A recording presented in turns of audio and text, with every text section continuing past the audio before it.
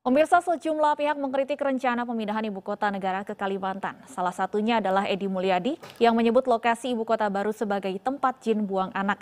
Pernyataan ini membuat Edi menuai kecaman dari masyarakat Dayak. Kak Talino Bacuramin Kak Sarugawa Sengat Kak Jubata. Saya Joy Barenyah dari Kalimantan Barat mengutuk keras ungkapan penistaan dari Edi Mulyadi dan kawan-kawan.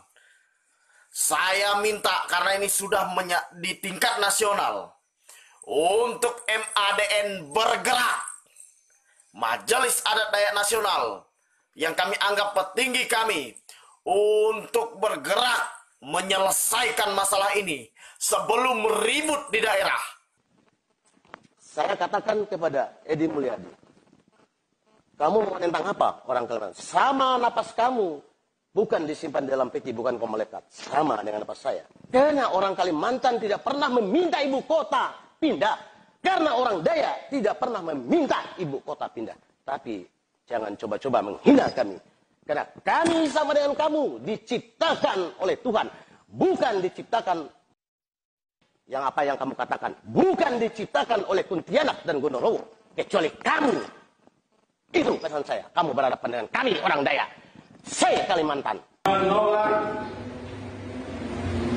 pernyataan yang telah disampaikan oleh Edi Mulyadi dan kawan-kawan yang telah melecehkan, menghina masyarakat Kalimantan meminta kepada kepolisian Republik Indonesia